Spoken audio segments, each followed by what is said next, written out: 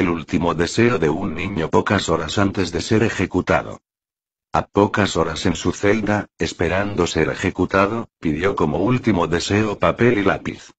Luego de escribir por varios minutos, le dijo a su custodio por favor, entregue esta carta a mi madre. La carta decía así.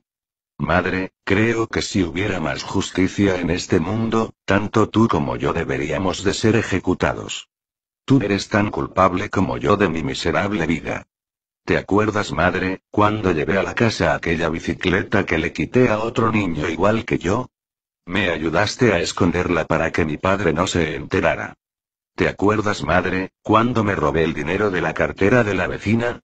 Fuiste conmigo al centro comercial y lo gastamos juntos. ¿Te acuerdas, madre, cuando botaste a mi padre de la casa? Él solo quiso corregirme por haberme robado el examen final de mi grado y a consecuencia me expulsaron. Madre, yo era solo un niño, luego fui adolescente y ahora un hombre mal formado. Era solo un niño inocente que necesitaba corrección, y no consentimiento. Te perdono, y solo te pido que le hagas llegar esta reflexión a todos los padres del mundo, que sepan que ellos son los únicos responsables de formar, a un hombre decente, o a un vulgar delincuente. Gracias madre por darme la vida y gracias también por ayudarme a perderla. Firma tu hijo, el delincuente. Si realmente quieres poner un granito de arena en esta sociedad, copia esta reflexión, sin duda puede ayudar.